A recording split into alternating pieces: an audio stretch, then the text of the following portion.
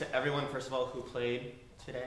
It was it was a group effort for a couple of those songs, and sorry for taking up your Sundays for like three months.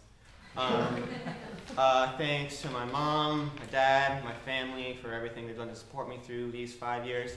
Uh, thanks to anyone who drove more than four hours to see a one-hour concert, because that's stupid. Uh, thanks to thanks to Dr. Hanning, Mr. Sorrentino, and Dr. Powell uh, for helping me mature as a musician, not as a person, but as a musician and and uh, uh, yeah, just thanks all for coming. Uh, oh, special shout out to my laptop for stopping twice.